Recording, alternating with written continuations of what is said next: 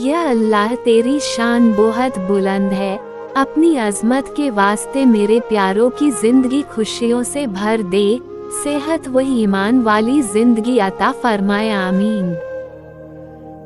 या अल्लाह, तू रात को जिस तरह दिन में बदलता है, उसी तरह हमारी परेशानियों को आसानी में बदल दे, आमीन। साल कैसा भी निकला पर रब के शुक्र से अच्छा निकला। बस कुछ आजमाइश थी, पर सबर किया, कुछ धोखा मिला तो कुछ ने दर्द दिया। पर अल्हम्दुलिल्लाह अल्लाह की जात ने मुझे कभी टूटने नहीं दिया।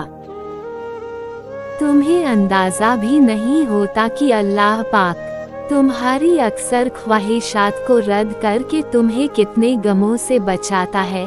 बेशक अल्लाह निहायत रहम करने वाला है।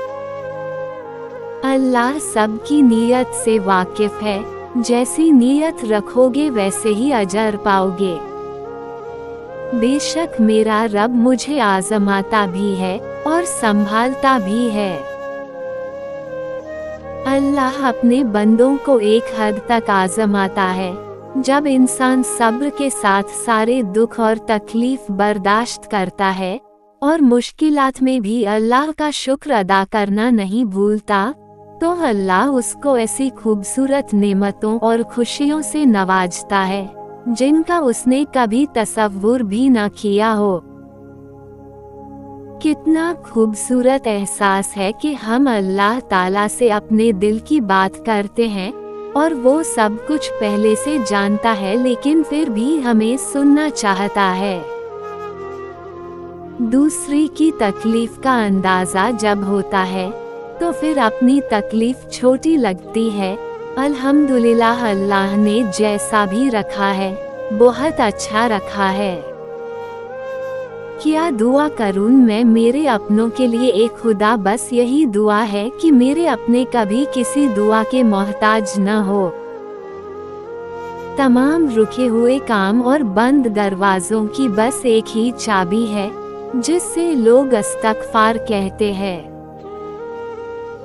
सबर का दामन कभी मत छोड़ना वक्त और हालात बदलते देर नहीं लगती, दुआ ज़रूर कबूल होगी।